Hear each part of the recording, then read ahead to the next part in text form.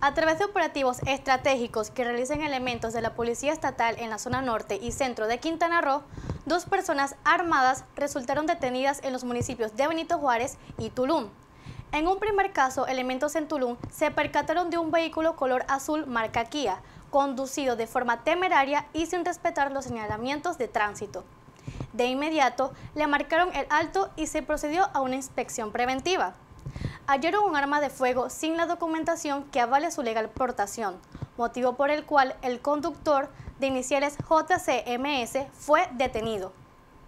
En el segundo caso, en Cancún, realizaban un patrullaje de prevención del delito sobre la avenida Nichupte y observaron a un vehículo marca Mercedes-Benz transitar también de manera temeraria, por lo que se le marcó el alto.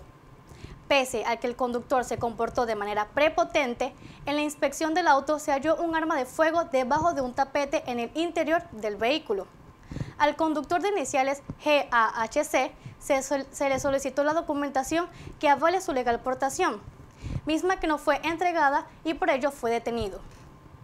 Ambas personas detenidas fueron certificadas médicamente y puestas a disposición de la PGR, junto con los indicios asegurados, para el procedimiento legal correspondiente.